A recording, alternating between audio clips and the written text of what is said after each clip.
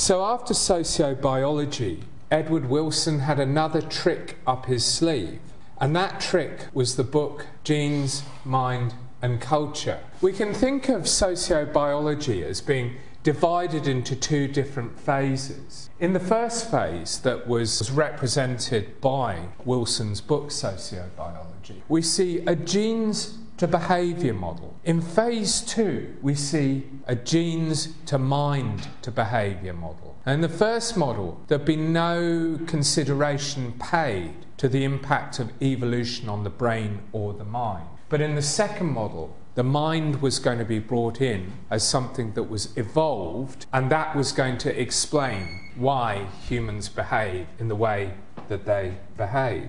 And we can see this in the quote that I've got up here. For mankind, at least, these postulates of radically incorrect behaviour is not explicit in the genes, and mind cannot be treated as a mere replica of behavioural traits. We propose a very different view in which genes prescribe a set of biological processes, which we call epigenetic rules, that direct the assembly of the mind. Culture is the translation of the epigenetic rules into mass patterns of mental activity and behaviour. Genes are indeed linked to culture, but in a deep and subtle manner. So, in fact, what sociobiology 2 was doing was basically building the mind in and saying that human culture, the way that we behave, the things that we create, how we associate with each other, the fact that we're all here sitting together in a lecture theatre can all be explained by that translation from genes to mind to mass behaviour. It's actually a very reductionist claim and it chains the mind to our evolutionary inheritance. And Wilson laid down the epigenetic rules, the neural pathways and regularities in cognitive development by which the individual mind assembles itself. And then individual minds working together, having been assembled from this evolutionary inheritance, produce culture. Now, of course, there had always been strong links built between evolution of culture. Darwin had done it. And we can see these psychological, ecological milestones as we look across history as we look from Darwin onwards. We see in Origin of Species, Darwin talking about in the distant future, I see open fields for far more important researchers. Psychology will be based on a new foundation, that of the necessary acquirement of each mental power and capacity by gradation. So he's suggesting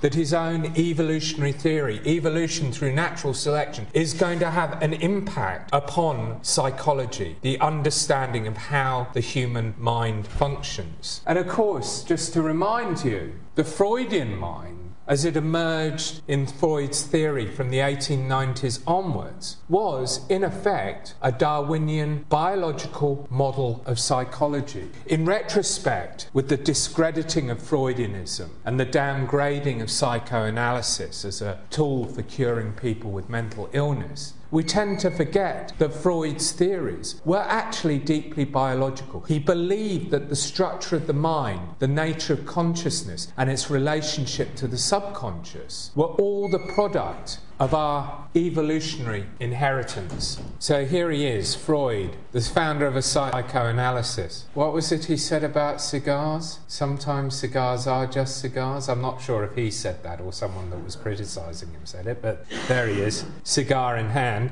And he believed that the mind consisted of three separate parts, all of which had evolved. There was the id, the animal drives, that connection with animals that Darwin suggested so strongly. There was the ego that represented our reasoning, our rational elements, the most evolved part of the mind. And there was the superego that negotiated between the animal drives and the reason, rationality, was in effect the conscience. And it's a model that was underpinned by Darwinian evolution. We also see it in the works of the incredible William James, one of the great figures of the 19th and early 20th century, a polymath, a physiologist, a psychologist, a man of letters, the man that came up with the term that I'm sure you're all aware of stream of consciousness. He was one of the first people to construct consciousness as being this kind of flow of thoughts, connected and unconnected. He was, of course, the brother of the celebrated Henry James, and in some respects, outside of literature, had a much larger impact upon the world than his more celebrated brother. He was a philosopher as well, as you can see from the quote that's up there. But we have to understand that the principles of psychology that he laid down were fundamentally Darwinian. So once again, we can see the impact of evolution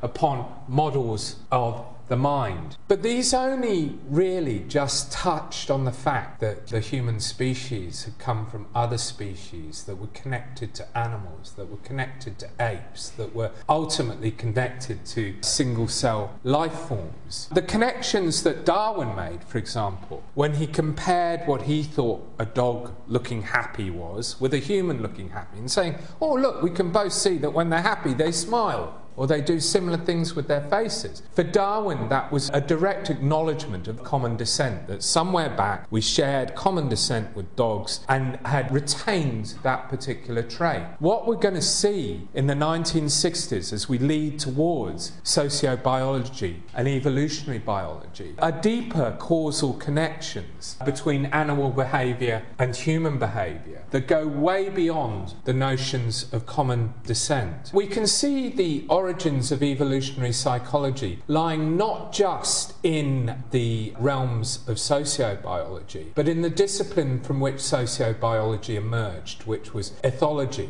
which is basically the study of animal behaviour. And two particularly important ethologists we can see here, Lorenz and Tinbergen, who were joint Nobel Prize winners for studying the individual and social behaviour in birds. And it wasn't long before ethologists started drawing connections between the behaviour of insects or the behaviour of birds and the behaviour of human beings. Perhaps the most popular example of this was Desmond Morris, who wrote and published The Naked Ape, that became an even bigger bestseller than Sociobiology, that argued very strongly for the fact that we could understand human behaviour if we understood humans as being essentially primates, and of course, as we've seen, sociobiology. But evolutionary psychology came of age, if that is really the right word, when The Adapted Mind was published in 1992. And this was where things took off, and it was also where things began to get really nasty. Because I'm not going to even begin to try and defend some of the things that a number of evolutionary psychologists have said. I'm just going to put it out there for you to make your own assessment. So, what are the basics of evolutionary psychology?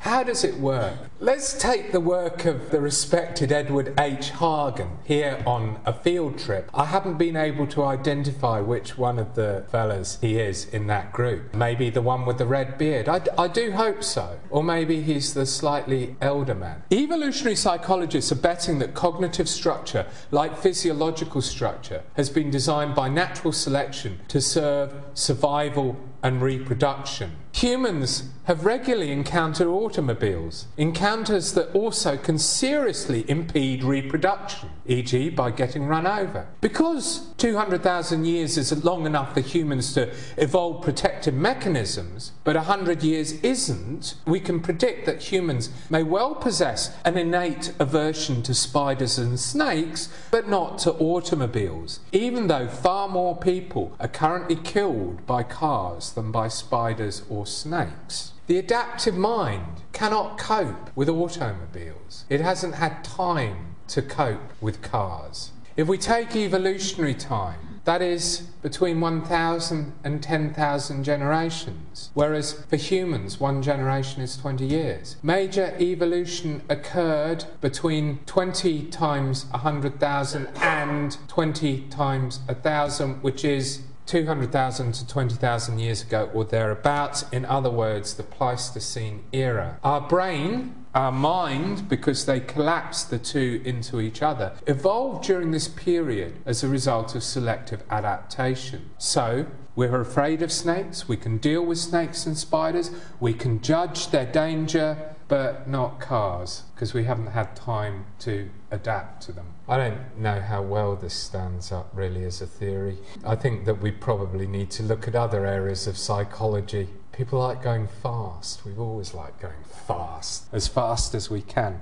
This is actually nothing less than what has been called the savannah principle. The principle that states that we are the products of that moment when we came down from the trees, started living in society on a savanna plain in Africa before coming out of Africa. And the notion is that we're still living with the mind that was evolved at that particular point. As we'll see, the phrase Stone Age minds in modern bodies crops up quite a lot. We see this kind of idea in the notion of the triune brain, which was developed by Paul D. MacLean, physician and neuroscientist, who believed that the brain, if you look at it, you know, you look at its structure, follow it up from the medulla oblongata right the way through the cerebellum to the brain's cortexes, was actually a recapitulation of the evolutionary process, of our evolution. So we have within us a reptile brain, the earliest to evolve. We have a mammalian brain which connects us with dogs and with apes. And then we have the human neo mammalian brain, with the neocortex being the bit that concerns the evolutionary psychologist. And with these kind of models, you are now equipped to explain pretty much everything, just as with sociobiology. All of these factors can be explained by that evolutionary inheritance, particularly our relationship with each other within these particular configurations. It is perhaps worth looking at some highly controversial moments to really focus upon the way that evolutionary psychology sidetracks itself by trying to explain the unacceptable. For example, rape and pillage. Not the rape and pillage conducted by the barbarians on the Roman Empire, not the pillage of Attila the Hun, nor that of the highly civilized Vikings. No, this was much worse. We have a look at the unfortunately named Randy Thornhill, or the less esoterically named Craig Palmer, who went on to argue that rape and adaptation were closely connected to each other and that there was a genetic advantage to rape as a practice, that somehow rape was natural. Victims' partners are not suspicious of their claims of rape if they show injuries which prove a struggle. Injuries demonstrate less of a threat to the male partner's paternity of offspring because it shows resistance to the rape, therefore making it less likely that it was consensual, and therefore lessens the likelihood of the male abandoning the victim. A natural biological phenomenon that is a product of the human evolutionary heritage, akin to the leopard's spots and the giraffe's elongated neck. That's rape, by the way.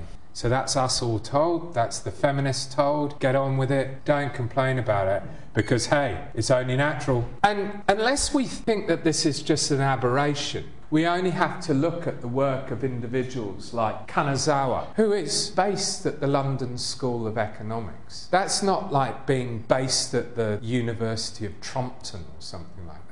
That is actually being based at one of the most powerful and prestigious institutions in the Western world. They employ him. And he's quite capable of arguing, as we see here in a piece that he published in Psychology Today, that based upon the Savannah principle, black women were less attractive than other women, and that the most attractive women were, were Caucasian. He's Japanese, by the way. And he believed that there was an evolutionary explanation for this revolving around adaptation. He also had earlier argued that smart people drink more based upon the Savannah principle. I mean, it was an extraordinarily counterintuitive thing to argue, but basically, he argued that smart people had adapted to the risks better than non smart people and therefore understood the risks of drinking more and therefore were more intelligent. And it was an extraordinary argument to come up with. And of course, you can go and have a look at it out there. There are still vestiges, although psychology today has done their best to remove the experiment that he conducted upon race. And it has to be said, well, you know, LSE said you're not to publish in anything other than peer reviewed journals, but just get on with doing what you're doing. That's okay, as long as you don't cause embarrassment. But, and you can go and see his blog, this came very strongly out of his background as someone that believes fundamentally in evolutionary psychology. I think that we have to have a look at some of the dissidents, some of the dissidents to both evolutionary psychology and to the wider sphere of both sociobiology and neo Darwinism. The kind of people that have resisted the claims that I've detailed, people like Stephen Jay Gould, who believe that these kind of things are false science because it isn't falsifiable, these kind of hypotheses. You cannot design an experiment to falsify them what tends to happen is that people like Kanazawa start out with a supposition and then use their evolutionary theory to prove the supposition with extremely limited evidence. And we've already seen that Gould and people allied with him tend to come from the left. But it's not just Gould that doesn't like this kind of stuff. There's a lot of people in the world of evolutionary biology who find it unscientific, deeply distasteful, and generally derogatory to the entire project of science. And typical of that would be the blogger and biologist P.Z. Myers, who's very famous within secularist circles. And of course, philosophers tend to think that this is all a load of complete and utter rubbish. But hey, that's the thing. It's bound to get column inches and centimetres if you want to talk centimetres. I tagged on at the end of this section something about Richard Dawkins' ideas of memes, because to some degree these are actually tied quite closely to notions around evolutionary psychology. So, memes, memes, what are they? What do you think of a meme? The word seems to have transformed in the last couple of years into something that I don't think Richard Dawkins meant it to be. He believed that the meme was almost like a unit of culture that was produced and reproduced in the brain. And as a unit, it would spread, but it would only spread according to the laws of natural selection. So if it was a bad meme, the meme would get selected out. And it's a, a view you can see in a number of his works, including The God Delusion, where he talks about memes. What do I think about memes? I mean, I'll raise my objections about, because I'm a materialist, but I don't believe that biology is everything, but other people might have a another opinion or a stronger opinion or? For my mind it's where does the biology begin and the culture end and the culture begin and the biology end? Because I think one of the problems I have with the kind of memetic if you want to call it or Dawkins view is it doesn't have that looping effect. The fact that biology and culture mutually constituted would be the wrong word but they're certainly involved in some form of dialectical process where the two shape each other and you can't determine everything biologically or determine everything culturally, but see the two actually involved in this kind of circular process of reinforcement. I think this points towards the real problems and the real controversies that emerge out of Darwinism. We've seen them emerging time and time again. What is the relationship between society and culture and our evolutionary inheritance? What does it mean to have come out of primates? What does that imply for the way that we behave and the kind of things that we do? And I don't think that we've got to a point where we've really even begun to figure out the complex interaction between mind and culture and between mind and evolution. Um, my suspicion is that um, mind itself goes beyond evolution than we could possibly imagine. That we can't just pin everything down to our evolutionary inheritance. My other criticism against theories about memes is that we've actually come up with some pretty good explanations of social behaviour, social development, cultural development, um, that do a pretty good job at explaining a whole range of phenomena. In fact, a, a lot of phenomena within the human and material world. Theories that have come out of politics and philosophy and sociology that really don't need to fall back upon biology as being the first stop. And in this instance, what seems to be happening is that biology becomes, instead of God, the first great cause. Or should we be starting for the fir- looking for the first moving cause, or should we be really analysing what's actually going on on the ground? Which is why I don't like the work of those people that I've listed there, Carroll and Runciman, because I think in both those cases they fail to develop a theory that helps us understand either literature or social and economic development that really speaks to anything other than the fact that we know that evolution has occurred.